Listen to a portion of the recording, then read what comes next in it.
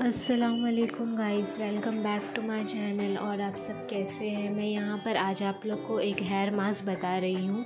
Hair mask cut का है। इसमें हम लोग लेमन हनी यूज़ करेंगे और ये मास्क बहुत ही अच्छा है आप लोग के बाल को कंडीशनिंग करने में और सॉफ्ट और सिल्की हो जाएगा इसको यूज़ करने से।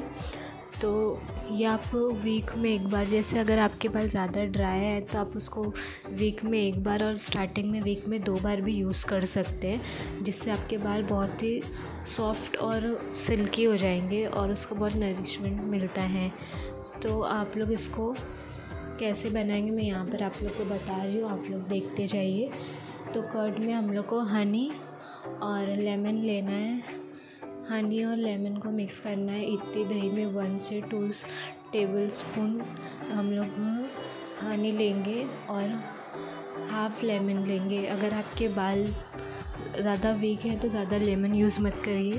नहीं तो फिर ग्रे होने के भी चांसेस होते हैं। इसके लिए हम लोग को जैसे आपके बाल की क्वालिटी उस हिसाब से लेमन लेना है, वैसे भी ज़्यादा लेमन बाल के लिए अच्छा नहीं होता है तो हम लोग उसी हिसाब से उसको यूज़ करेंगे।